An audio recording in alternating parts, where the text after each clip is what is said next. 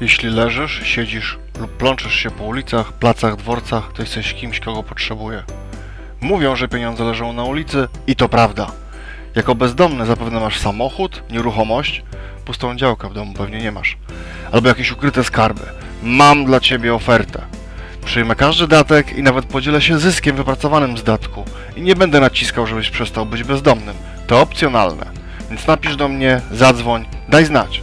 Pozbędziesz się ciężaru i będziesz mógł swobodnie nadal wieść pozbawione trosk życie miejskiego wagabundy. Ja zajmę się wszystkim i jeśli nie chcesz, nawet nie zobaczysz z tego grosza. Zdejmę to z twoich barków. Zgłoś się już dziś.